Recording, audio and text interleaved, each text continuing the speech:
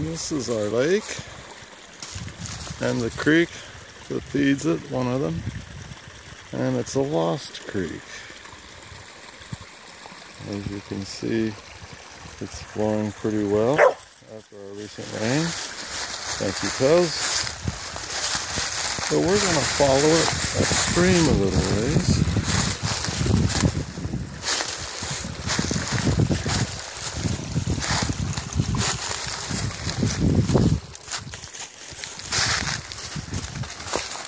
See, it's still flowing pretty well here.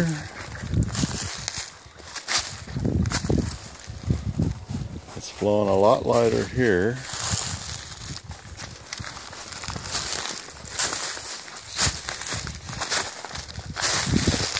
We're down to a trickle.